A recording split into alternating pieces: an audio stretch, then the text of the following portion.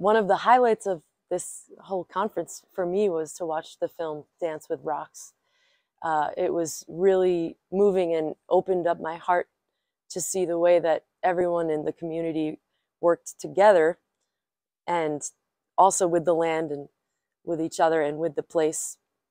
In my musical practice with my bandmates, we have a phrase, we are one thing, and it just means that our minds and our bodies are woven together to achieve something bigger than one person. And in the film Dance with Rocks, I really saw this idea come to practice. And that's one of the big things I'm going to be taking away from the conference.